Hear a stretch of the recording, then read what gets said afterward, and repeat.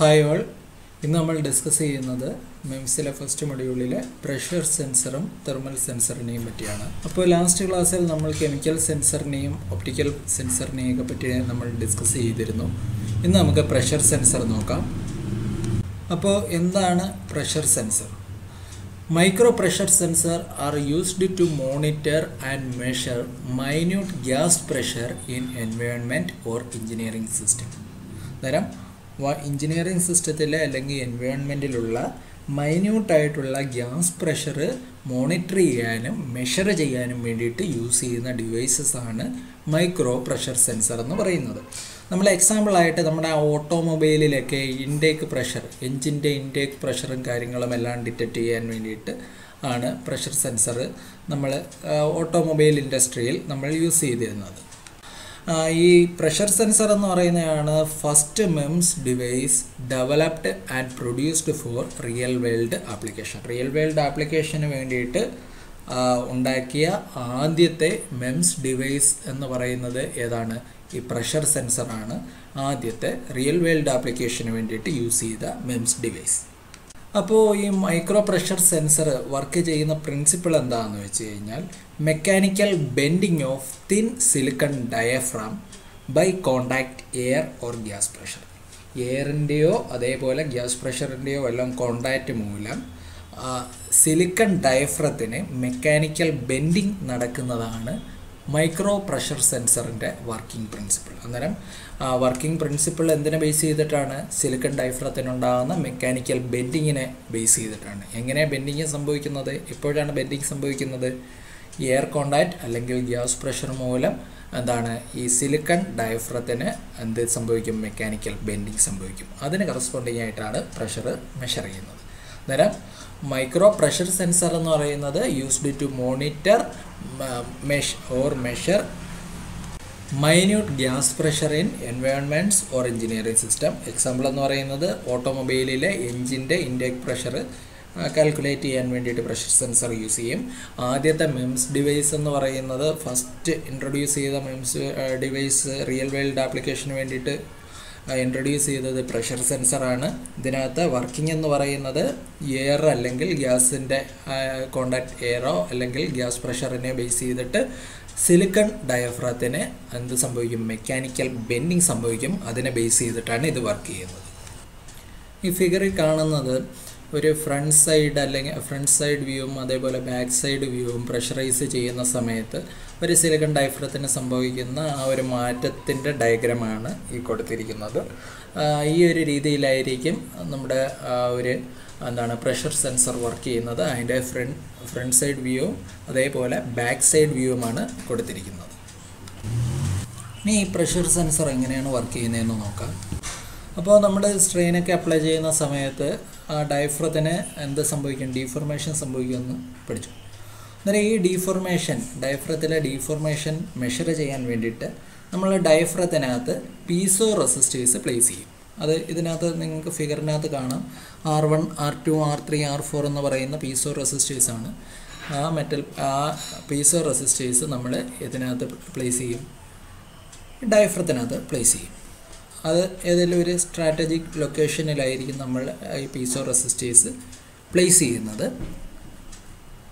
ഈ tiny piezo resistors silicon വെച്ച് dope ചെയ്തായിരിക്കും ഉണ്ടാക്കിയിരിക്കുന്നത്. ഇനി ഇവിടെ ഇതിന്റെ സൈസ് എന്ന് പറയുന്നത് നമുക്കറിയാം. മെംസ് ഡിവൈസസ് ഒക്കെ വളരെ മൈന്യൂട്ട് വളരെ സ്മാൾ ഡിവൈസസ് ആണ്. അതുകൊണ്ട് ഈ പീസോ റെസിസ്റ്റേഴ്സിന്റെ സൈസ് എന്നൊക്കെ പറയുന്ന മൈക്രോമീറ്റർ റേഞ്ചിലുള്ള സംഭവങ്ങളാണ് ഈ പീസോ റെസിസ്റ്റേഴ്സ് ആയിട്ട് നമ്മൾ യൂസ് ചെയ്യുന്നത്. അന്നേരം ഇത് വളരെ ഹൈലി സെൻസിറ്റീവ് ആയിരിക്കും അതേപോലെ നല്ല റെസൊല്യൂഷനും ഒക്കെ ഉള്ള ഡിവൈസസ് ആയിരിക്കും നമ്മൾ ഈ യൂസ് ചെയ്യുന്ന പീസോ റെസിസ്റ്റേഴ്സ്. അന്നേരം നമ്മുടെ ഈ സിലിക്കൺ ഡൈഫ്രത്തിന് ഉണ്ടാകുന്ന ചേഞ്ചസിന് കറസ്പോണ്ടിങ് ആയിട്ട് ഈ പീസോ റെസിസ്റ്റേഴ്സ് അതിന് കറസ്പോണ്ടിങ് ആയിട്ടുള്ള ഇലക്ട്രിക്കൽ സിഗ്നൽസ് നമുക്ക് പ്രൊഡ്യൂസ് ചെയ്യുകയും അത് മുഖേന നമ്മളത് എത്ര ഈ ഇതിന് കറസ്പോണ്ടിങ് ആയിട്ടുള്ള വോൾട്ടേജ് പ്രൊഡ്യൂസ് ചെയ്യുകയും അങ്ങനെ നമ്മൾ എത്രയാണ് ഇതിന്റെ പ്രഷർ വാല്യൂ എന്നുള്ളത് നമ്മൾ മെഷർ ചെയ്യുകയുമാണ് ചെയ്യുന്നത്. ഇപ്പോൾ നമ്മൾ R one R two R three R four ഇങ്ങനെയുള്ള നാല് പീസോ റെസിസ്റ്റേഴ്സാണ് നമ്മളിത് ഈ കണ യൂസ് ചെയ്യുന്നതെന്ന് പറഞ്ഞു സിലിക്കൺ കൊണ്ട് ഡോപ്പ് ചെയ്തിട്ടുള്ള. അപ്പോൾ ഇത് ഒരു വീസ്റ്റേൺ ബ്രിഡ്ജ് പോലെയാണ് നമ്മളിവിടെ കണക്ട് ചെയ്തിരിക്കുന്നത്. എന്തിനു വേണ്ടിയിട്ട്? സിഗ്നൽ ട്രാൻസ്ലേഷന് വേണ്ടിയിട്ട് എന്ന് വെച്ച് കഴിഞ്ഞാൽ ഈ കറസ്പോണ്ടിങ് എന്താണ് ഈ സെൻസ് ചെയ്യുന്ന ഈ എന്താണ് അതിനുണ്ടാവുന്ന ഡീഫോർമേഷന് കറസ്പോണ്ടിങ് ആയിട്ടുള്ള വോൾട്ടേജ് നമുക്ക് പ്രൊഡ്യൂസ് ചെയ്യാൻ വേണ്ടിയിട്ട്. അപ്പോൾ അത് പ്രൊഡ്യൂസ് ചെയ്യുന്ന വോൾട്ടേജിനുള്ള ഇക്വേഷനാണ് V out is equal to V in V in into R one divided by R one plus R four R one divided by R one plus R four minus R three divided by R two plus R three എന്ന് വെച്ചാൽ ഏത് സൈഡാണ് use ചെയ്യുന്നത്? അത് divided by total R one എടുത്തു കഴിഞ്ഞാൽ R വണ്ണിന്റെ സൈഡിൽ വരുന്ന ഏതൊക്കെയാണ്? ആർ വണ്ണും ആർ ഫോറും അല്ലേ? അന്നേരം R one divided by R one plus R four V in into R one divided by R one plus R four minus R three divided by R two plus R three ഈ R one R three എന്ന് പറയുന്നത് resistance induced by എന്താണ് longitudinal and transverse stresses longitudinal stress മൂലവും അതേപോലെ ട്രാൻസ്വേസ് stress മൂലവും ഉണ്ടാകുന്ന resistance ആണ് R one R three എന്ന് പറയുന്നത്.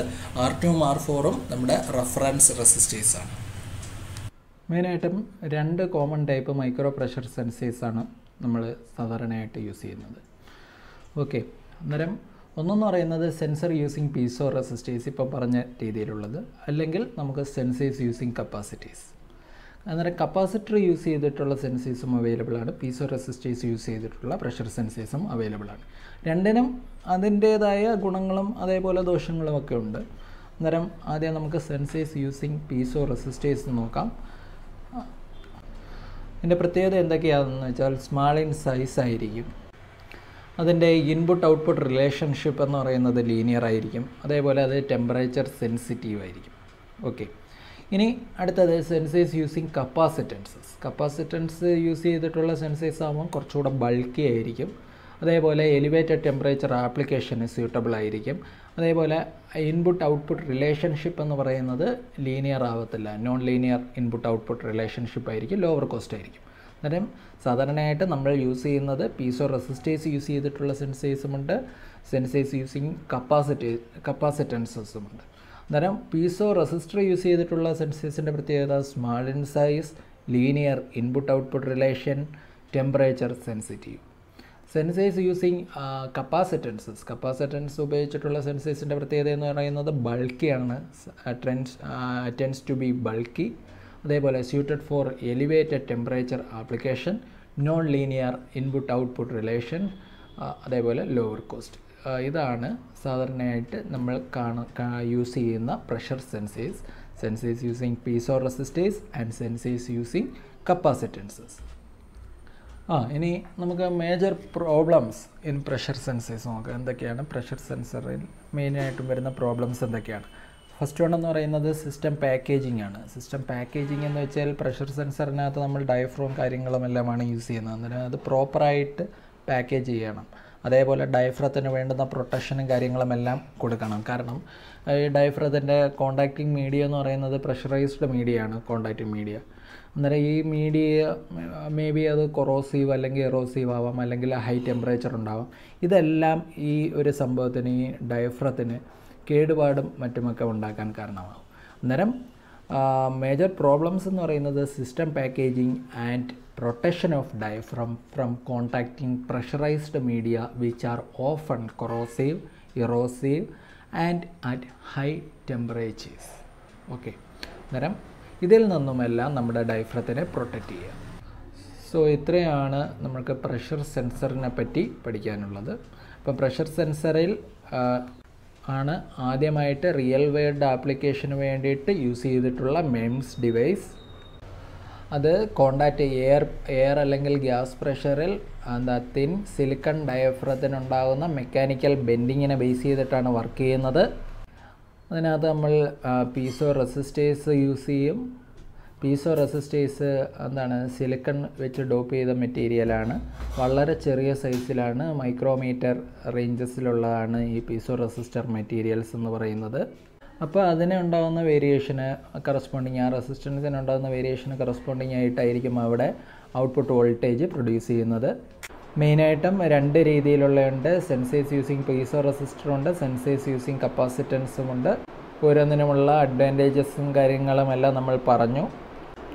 മേജർ പ്രോബ് പ്രോബ്ലം എന്ന് പറയുന്നത് പ്രഷർ സെൻസറിൽ നമ്മൾ എന്ത് പ്രൊട്ടക്റ്റ് ചെയ്യുക എന്നുള്ളതാണ്. ഈ ഡയഫ്രം പ്രൊട്ടക്റ്റ് ചെയ്യുക എന്നുള്ളതാണ്. ഓക്കെ അന്നേരം ഇത്രയാണ് പ്രഷർ സെൻസറൈസിനെ പറ്റി നമുക്ക് പഠിക്കാനുള്ളത്. ഇനി അടുത്ത നമുക്ക് തെർമൽ സെൻസേഴ്സിനെ പറ്റി നോക്കാം. ഇനി അടുത്ത നമുക്ക് തെർമൽ സെൻസേഴ്സിനെ പറ്റി നോക്കാം. Thermal sensors are used to monitor or measure temperature in an environment or of an engineering system നമ്മൾ നേരത്തെ പ്രഷർ സെൻസർ പറഞ്ഞ പോലെ തന്നെ അതിന് പകരം ഇവിടെ പ്രഷർ സെൻസർ പ്രഷറാണ് സെൻസ് ചെയ്യുന്നതെങ്കിൽ തെർമൽ സെൻസർ എന്താണ്? ടെമ്പറേച്ചർ സെൻസ് ചെയ്യും. ഏതെങ്കിലും എഞ്ചിനീയറിംഗ് സിസ്റ്റത്തിലുള്ളയോ അല്ലെങ്കിൽ എൻവയോൺമെന്റിലുള്ളയോ ടെമ്പറേച്ചർ സെൻസ് ചെയ്യുന്ന ഡിവൈസസ് ആണ് തെർമൽ സെൻസർ കോമൺ ആയിട്ട് യൂസ് ചെയ്യുന്ന തെർമൽ സെൻസറിനകത്ത് ഇൻവോൾവ് ചെയ്യുന്ന എന്തൊക്കെയാണെന്ന് വെച്ച് കഴിഞ്ഞാൽ തെർമോ കപ്പിൾസും ഉണ്ട് തെർമോ പൈൽസും ഉണ്ട്. അന്നേരം എന്തൊക്കെയാണ് കോമൺ തെർമൽ സെൻസേഴ്സിൽ ഉള്ളത്? തെർമോ കപ്പിൾസും തെർമോ പൈൽസും thermal sensors work on the principle of electromotive force generated by heating junction made up of dissimilar materials. ഇപ്പോൾ തെർമൽ സെൻസർ വർക്ക് ചെയ്യുന്ന എന്താണ്? പ്രിൻസിപ്പിൾ എന്ന് പറയുന്നത് ഇ എം എഫ് ജനറേറ്റ് ചെയ്യുന്നതിനെ ബേസ് ചെയ്താണ് എന്ത് എങ്ങനെ ഇ എം എഫ് ജനറേറ്റ് ചെയ്യുന്നു? രണ്ട് ഡിസിമിലർ മെറ്റീരിയൽസിൽ ഹീറ്റിംഗ് അപ്ലൈ ചെയ്യുമ്പോൾ ഹീറ്റ് ഉണ്ടാവുന്ന സമയത്ത് അവിടെ ഒരു ഇ എം എഫ് ജനറേറ്റ് ചെയ്യുന്നു. ആ ഇ എം എഫിനെ അല്ലെങ്കിൽ ഇലക്ട്രോമോട്ടീവ് ഫോഴ്സിനെ ബേസ് ചെയ്തിട്ടാണ് തെർമൽ സെൻസർ വർക്ക് ചെയ്യുന്നത്. അപ്പോൾ തെർമൽ സെൻസർ എന്ന് പറയുന്നത് ടെമ്പറേച്ചർ മെഷർ ചെയ്യാൻ വേണ്ടിയിട്ട് യൂസ് ചെയ്യുന്നു. എൻവയോൺമെന്റിലെയും എഞ്ചിനീയറിംഗ് സിസ്റ്റത്തിലെയും എല്ലാം ടെമ്പറേച്ചർ മെഷർ ചെയ്യാൻ വേണ്ടിയിട്ട് യൂസ് ചെയ്യുന്നു. കോമൺ ആയിട്ടും ഉള്ളത് തെർമോ കപ്പിൾസും തെർമോ പൈൽസുമാണ് ഇനി തെർമൽ സെൻസേഴ്സ് വർക്ക് ചെയ്യുന്ന പ്രിൻസിപ്പിൾ എന്ന് പറയുന്നത് ഇ എം എഫ് ജനറേറ്റ് ചെയ്യും. എപ്പോൾ? രണ്ട് ഡിസിമിലർ മെറ്റീരിയൽസ് ചേർന്നിട്ടുള്ള ജംഗ്ഷനിൽ ഹീറ്റ് അപ്ലൈ ചെയ്യുമ്പോൾ ഹീറ്റിംഗ് ഉണ്ടാകുമ്പോഴത്തേക്കും അവിടെ ഒരു ഇ എം എഫ് ജനറേറ്റ് ചെയ്യും. അതിനെ ബേസ് ചെയ്തിട്ടാണ് തെർമൽ സെൻസേഴ്സ് വർക്ക് ചെയ്യുന്നത്.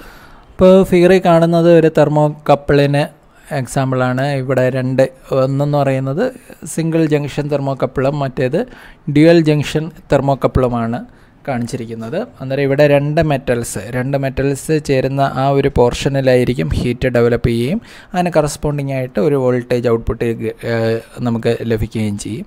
അന്നേരം ആ ജനറേറ്റ് ചെയ്യുന്ന വോൾട്ടേജ് ഏത് മൂലം? ആ ടെമ്പറേച്ചർ റൈസ് ആ ബെഡിൽ ഉണ്ടാവുന്ന ആ ടെമ്പറേച്ചർ റൈസ് മൂലം ഡെവലപ്പ് ചെയ്യുന്ന വോൾട്ടേജ് ആ ബെഡ് എന്ന് പറയുന്നുണ്ടോ മെറ്റൽ വയർ എയും മെറ്റൽ വയർ ബിയും ആ ഒരു ജംഗ്ഷനിൽ അവിടെ ഉണ്ടാകുന്ന ആ ടെമ്പറേച്ചർ മൂലം ജനറേറ്റ് ചെയ്യുന്ന വോൾട്ടേജിനുള്ള ഇക്വേഷനാണ് B is equal to beta time beta into delta T beta എന്ന് പറയുന്നത് സീബക് കോയിഫിഷ്യന്റ് ആണ്.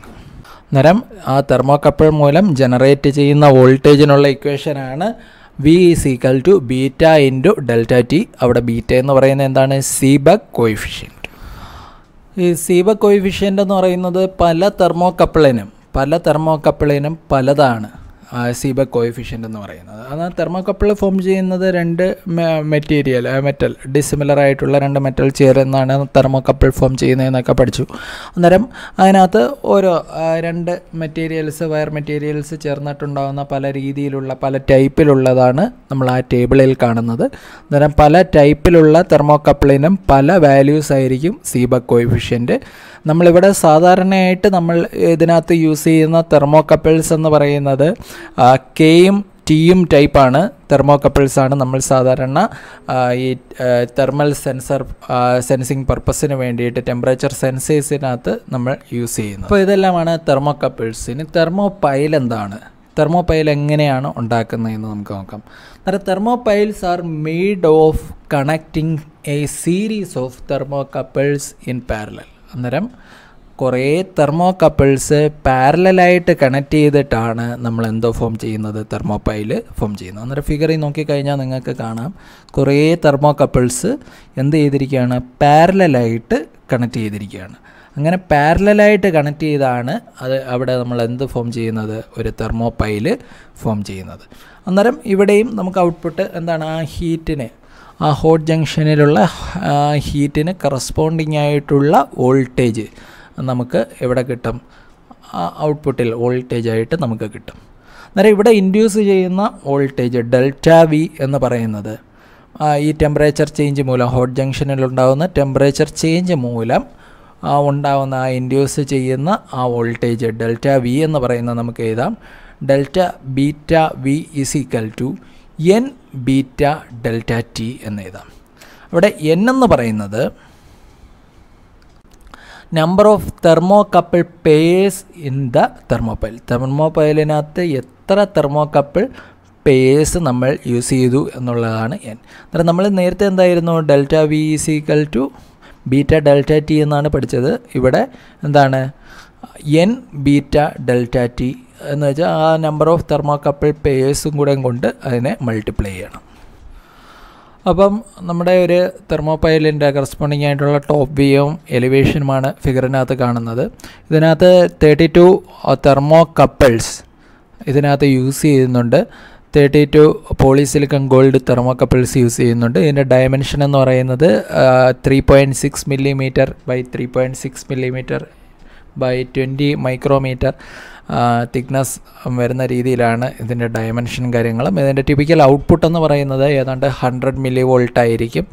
അതേപോലെ ഇതിന്റെ റെസ്പോൺസ് ടൈം ഇത് എത്ര സമയം കൊണ്ടാണ് ഇത് കറസ്പോണ്ടിങ് വോൾട്ടേജ് ആയിട്ട് കൺവെർട്ട് ചെയ്യുന്നത്? അതാണ് റെസ്പോൺസ് ടൈം എന്ന് പറയുന്നത്. റെസ്പോൺസ് ടൈം എന്ന് പറയുന്നത് ഫിഫ്റ്റി മില്ലി സെക്കൻഡാണ് ഈ ഒരെണ്ണത്തിന്റെ കേസിലുള്ള കറസ്പോണ്ടിങ് ആയിട്ടുള്ള റെസ്പോൺസ് ടൈം ഇതൊരു ജസ്റ്റ് ഒരു തെർമോ കപ്പ് തെർമോ പൈലിന്റെ ഡയഗ്രമാണ് കൊടുത്തിരിക്കുന്നത്. ഓക്കെ അന്നേരം these are all about thermal sensor and pressure sensor hope all of you understand the portions which I covered